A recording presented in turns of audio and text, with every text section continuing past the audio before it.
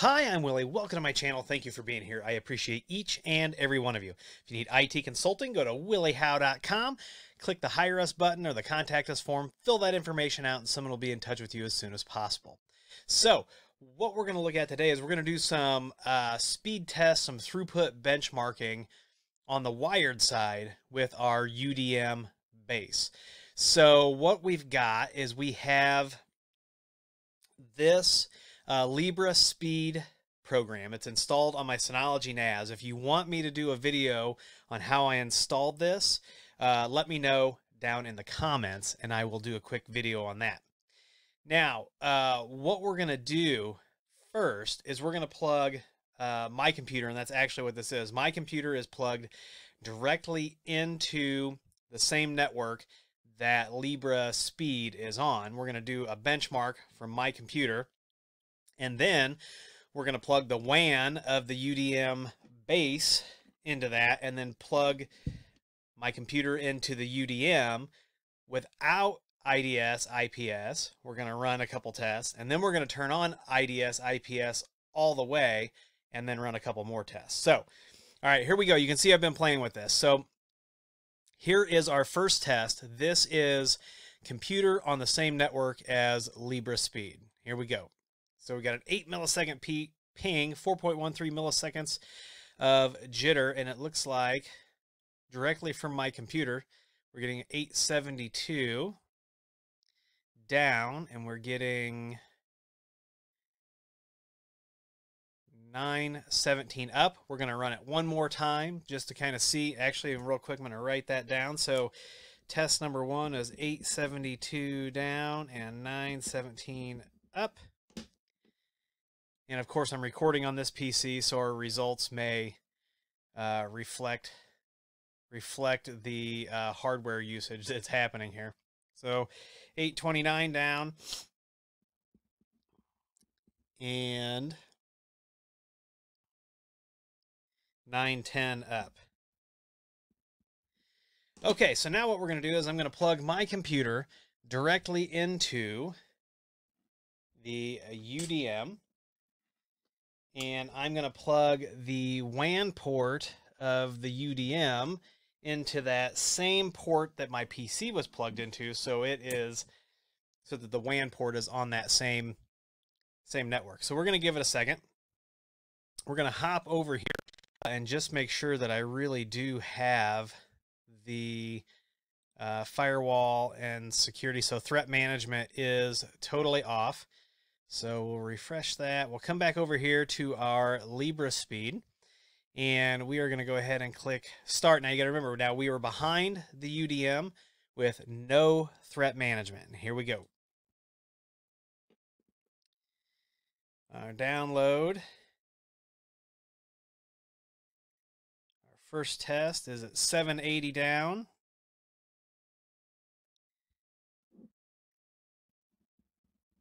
And I can hear the fans kicking up on my computer.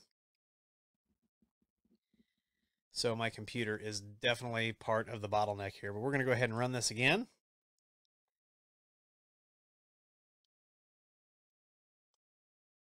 Yeah.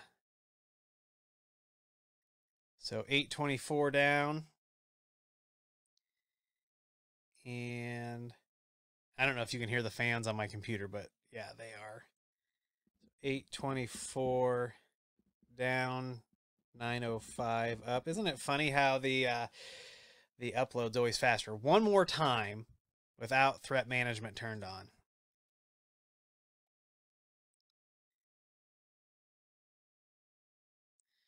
And survey says 869 down.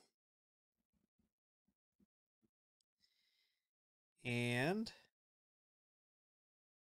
927 up. Okay, so we did those three tests. Now we're going to turn on threat management. Um, and we're going to turn it on all the way.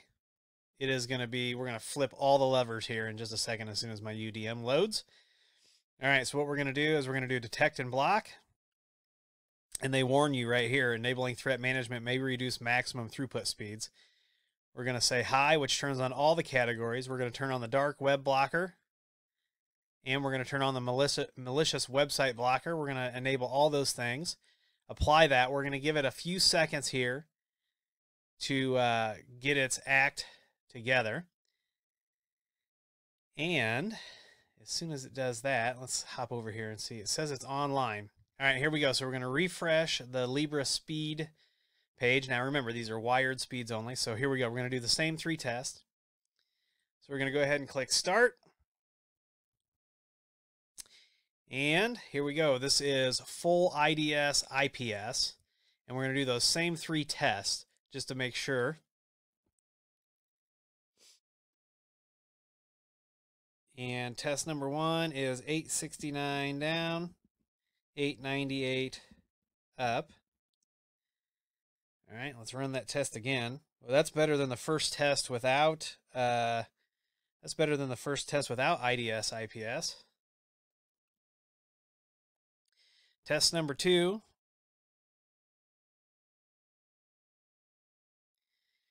Coming in at 889. Down. And 856 up. All right, and the last test. Here we go.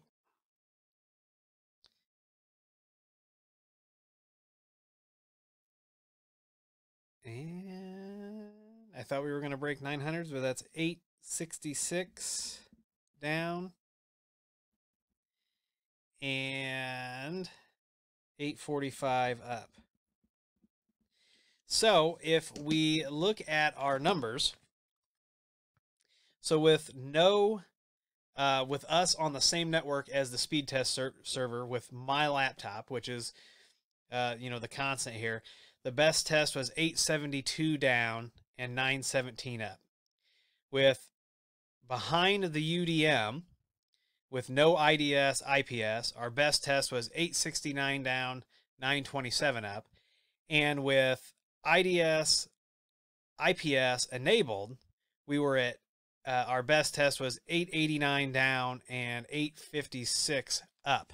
So from this short test, and you could do this and keep benchmarking and all that, but from this short test, if you've got gigabit internet, uh, the UDM base should be able to handle this no problem. So we're going to benchmark all of these uh, and compare them. So that's the UDM base, the UDM Pro, the UDM SE, the UXG, and the UniFi Dream Router. We're going to benchmark all those. Maybe we'll throw a USG in there just for old time's sake. But if you want to see me test this a different way, um, I was going to use my internet, and when I started doing the testing last night, I'm supposed to have gig speed down, but with everything going on uh, and the neighborhood, and just uh, I wasn't getting gig speed, so I wasn't happy with that. So I went with the with the help the self-hosted LibreSpeed just to get a little bit more of a stable uh, testing platform. So if you've got any other ways you want to see me test this, benchmark this, we're going to do the wireless